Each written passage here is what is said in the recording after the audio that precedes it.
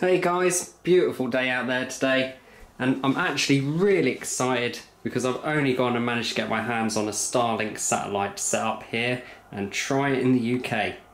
So stay tuned and I'll be sharing my experience of our setup and first attempts at using Starlink here in the UK.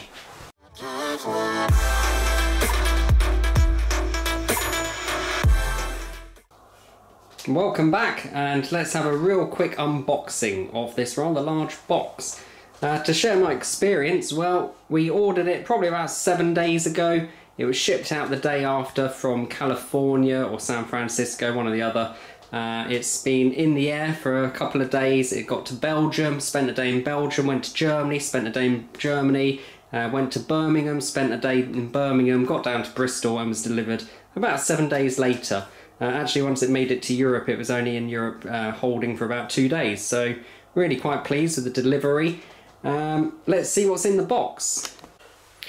Right, so quite a large box, really. We'll have to get in here and open up the tape. We've got around here, three around this side. And let's open it up. Oh. Ah, very interesting. So we've got a piece of, is that the instructions? What does it? Number one, don't touch the dish, poke it outside with the satellite up there. Um, that's you outside in the picture. Then you go inside and you do something with that thing. And then number three, you connect to it. Apparently it's that simple. Rather large plastic moulded bit inside is the business. So what we've got here, we've got some sort of tripod. It's made out of metal. It has got some screw holes in it, which isn't going to be useful for our roof because our roof's tiled. Um, I'm going to sit it, or I'm going to try sitting it at about a 40 degree angle on the tiled roof. I'm not sure how well that will work, but we'll find out in a bit. The next thing we're welcomed by is now, not the dish, the dish will come out next. A rather long cable. It looks like the long cable goes to the dish. I'm going to unplug that for now. So, we've got one over there. We've got a power lead. English, British, good, nice. Um, power supply box is metal.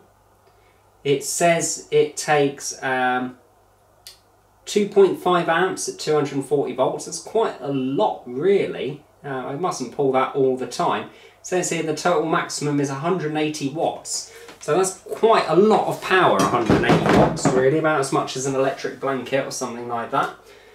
Then what do we have on the end of this white cable? This looks like the Wi-Fi access point. So this is kind of your router. And although actually the router and the, the satellite plugs into the power supply so the data comes up to here and then to there. And then finally uh, another piece of plastic, pull that out, a dish. Let's see how heavy this is. Oh, it's, it's fairly heavy, a uh, few, good few kilograms. What have we got here? Does that have a coating on it? No, don't think you peel that off. That is its surface. That's the dish. Oh, it's fairly weighty. Um, you might need a hand moving that about. A good length of cable and then it literally looks like this stalk plugs straight into the tripod there. Now I'm a little bit worried that if I balance this on my roof at 40, you know, it's nearly 30 or 40 degree angle, as this thing pivots around, is it going to fall over on its face, slide off the roof and fall to the floor? That would not be good. So I'm not really sure how to deal with that. Maybe what I'll do for now is tie a piece of string around the bottom of this tripod and then tie that string to the window frame so if it does decide to slide down the roof it's anchored. Um, probably wouldn't want to lose um, our deposit on this equipment straight away. In case you're wondering the deposit on the equipment was about five or six hundred pounds including delivery to the UK um, I think if we have trouble getting service, we get, get the deposit back, we can send the gear back. Uh, if we decide to keep this for more than three months, we'll then lose that deposit and the equipment will become ours to keep. and I think the going rate was about £80 a month subscription fee, which sounds a lot, but considering our BT fibre is about 45 quid a month plus £20 uh, line rental, actually working out that kind of price uh, for, for the internet. And one of the problems we've got with BT internet, and we've asked them so many times to fix it, is drop connections. We can have as many as, you know, 30 to 40 drop connections in a 24 hour period. Some go on for a few seconds, some go on for minutes. Uh, sometimes we'll lose connections as zooms or videos uh, and we'll have to, you know, reboot the, the router. So I'm hoping this may be more reliable than that. Oh, better be at the size and weight of this thing anyway. Right, so let's put the dish down somewhere else and just check what else is in this box. So we have got some regulatory notices. Um, yeah, don't know about wanting to read that. It has got like a picture of an angle here, maybe that's got something to do that's important. Um, it's all different languages, so only one of those is in English. Pass that to Kaylee, she can read it and let me know. Read that, Kaylee. And what else is in here? Just lots of plastic. It'd be nice if that was pressed cardboard uh, rather than uh, plastic. It's going to be very difficult to get that recycled. The local recycling place might not take it. If it was pressed card, they would. Um, other than that, the cardboard box is easily recyclable. So another thing to note is that during the sign up process there was no signal or service coverage check. You simply enter a postcode in and it was probably likely that this was used to check the coverage but after putting the postcode in and being agreed for the beta testing it was just agreed to send um, with no checking of signal or whether you're going to pick up the internet. But what was advised is that you use the app, the Starlink app, and I believe you can download it without being a customer and use this Starlink app based with your postcode to try and figure out where you need your dish to be pointed. So that was really my biggest concern, is not getting adequate line of sight with the sky. However, using the app, I'm able to easily see the allocated area of the sky that my dish needs to see. You simply move your phone camera around to see the area of sky that's allocated to you. Thankfully this is much smaller than I thought it would be, and I should have two or three locations that give me the required space. You may have noticed the term allocated there, and this is something I've been asked about. Can you take your dish to other locations or fit it to a mobile home for example? According to SpaceX user agreement, it's a big no. This is apparently due to the individual dish being programmed to communicate with a particular set of dishes that are over your house. They may be moving, but you're only permitted to communicate in that zone. Therefore, if you move from this window in the sky, your dish may not be able to connect with the SpaceX network. Well, that's what it says anyway. Apparently, there might be a more mobile version later to come. With that being said, I may well try a couple of cheeky link ups from the mobile home in the coming months. Right, now we've used the app, I think I found two or three potential locations for this dish. I'm going to start with the easiest location first and see how things go from there. Then we might look at a more permanent solution such as fixing the thing to the roof or possibly mounting it to the wall. So after using the app I can see this is a good potential site. Uh, if I open this window here we gain access to this area of roof, quite windy out, and this area of roof has a good view of this sky and it just so happens according to the app that is a patch of sky that I need to be able to see. It does also suggest that it wants to be able to see almost directly up and the edge of the roof does cover that but we're going to see whether that works. Now I am a bit worried, uh, this is a tiled roof and it does have an angle of about 30 degrees on it. I'm a bit worried that if I put the tripod on here it could slide down and possibly fall.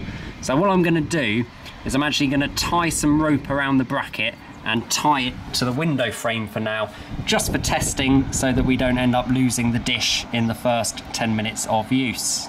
First of all, I'm going to try and put the dish on the tripod. Makes sense. It looks fairly easy, I would think. It's got some kind of squeeze catches on it here, and they must kind of slot into the stand. See where it goes in. Yep, that's it, perfect, locked into place. It's a bit of wobble on that. Um, people have said any mo- any movement on the dish will cause you to lose a connection, and I feel like that's quite a bit of movement on there. Next thing I've got to try and do is actually get it out through that little window, which now looking at it, I don't think it's going to go. We'll find out. Hmm. Let's see. This may well be a video on someone dropping a SpaceX satellite out their window. It is quite heavy. Oh, yeah.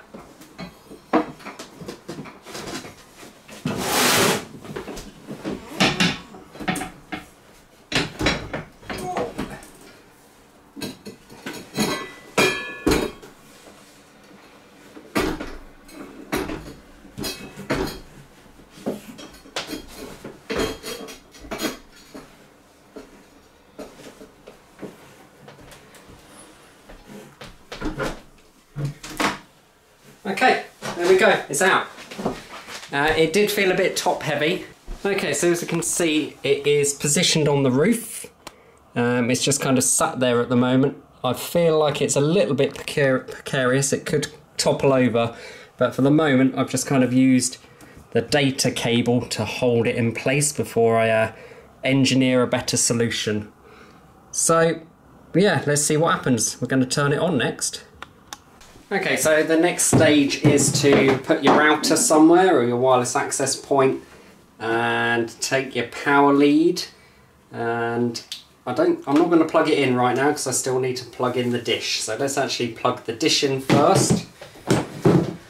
The dish comes with a very long cable. I don't know exactly how long, but probably getting on for what do you reckon 10 15 meters at least.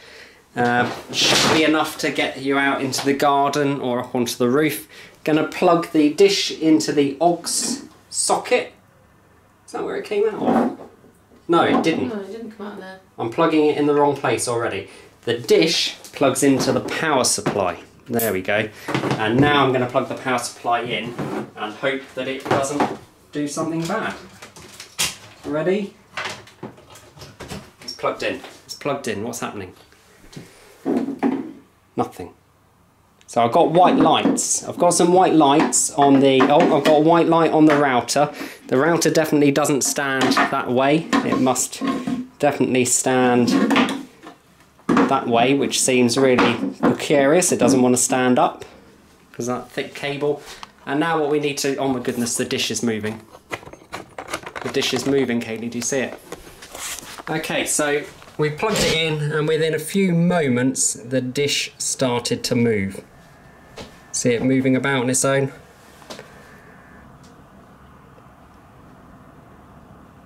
And now what's it doing? How do we know when we've got a connection? Oh, this is why I probably should have read the instructions. Haven't you read the instructions yet? Didn't- Oh, it's pointing at us now. That's not where you want to be looking. There's no internet up there. So I do believe from other things I've watched and read, it says it can take about 15 minutes to initially find a signal. So I'm now going to just give it 5 or 10 minutes and see what happens. Uh, I'm sure you don't want to see that, you've probably seen plenty of stuff like that. Okay, so what's happened at this stage is we've tried to connect to this using the phone on the wireless.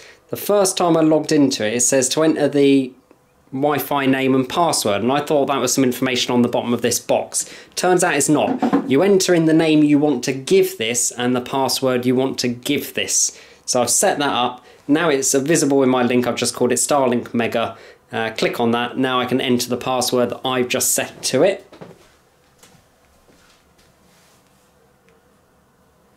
Click connect. And we are now connecting to the Starlink. It tells me the internet is not available at the moment. So that's to be expected. Dish is... Can't tell whether the dish is moving or not now. It might be moving a very small amount. And yeah, we're, we're, we're, we're connected with no internet at the moment. So let's uh, have a cup of tea, come back to it in a bit. Uh, a bit of tea and crumpets and we should be good to go. Right, I've had the dish on the roof for a couple of hours now, and it's actually pointing in towards the house, so it really wants to be on the other side of the house, I think. Um, it picks up signal now and again. I've had speeds of up to 150, 160 megabits down, but um, yeah, it doesn't want to stay connected for much more than about 10 minutes. So probably going to bring it in and try and reposition it out in the back garden. Okay, we've actually moved the dish into the back garden now, and we're getting a more reliable connection, as in it's not dropping out so often, but it does seem to be a lot slower. So let's do a couple of speed tests and see how we go. Um, I find if it's not being used for a while, it, it takes a little while to kind of warm up. So once you kind of start a connection, it may be a bit slower and may speed up. So at the moment we're pressing to 25 download and about 18 to 24, 20 something upload. That's a bit slower than before. I just run this test a moment ago and I was getting a 60 down, which is a lot faster than I'm usually getting. So this gives you a kind of idea the kind of speed you might be expecting. Now, as I say, when the dish was around the front of the house, we were actually getting 150, I'd even seen 170 megabit download speed and about 50 upload speed. Uh, we're not getting anywhere near that speed now. But as I say, the connection is more stable. As you'll see from this photo, we've actually put the dish on some decking. Uh, it's got fairly good field of view, but strangely enough, is pointing in the in the opposite direction of what the Starlink app suggested it would point. So we're actually now pointing uh, north rather than south, um, which is a bit strange. But what we'll do is we'll do a few more tests over the next couple of weeks, um, share, you know, put together our experience. So make sure you stay tuned. Click subscribe if you want to know more about this particular uh, setup and this project that we've got going here. Uh, otherwise, take care and see you next time.